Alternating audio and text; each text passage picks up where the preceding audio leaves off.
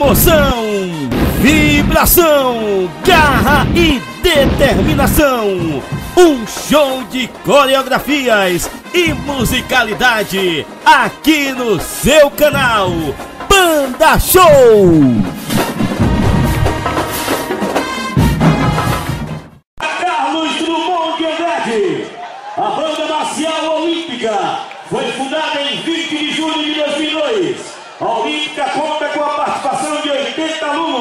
Da rede estadual, municipal e da comunidade de Dias d'Ávila, sob a regência do professor Joir Oliveira. Dirigentes da Banda Marcial Olímpica, Cristiano Costa, Micaela Silva, Neila Lúcia, Idamar Gomes e Ana Alice Nunes. Coreógrafo, Maílson, Mó, Moisés Ávila, balizador, Reinaldo Neto, baliza, Larissa Virginia.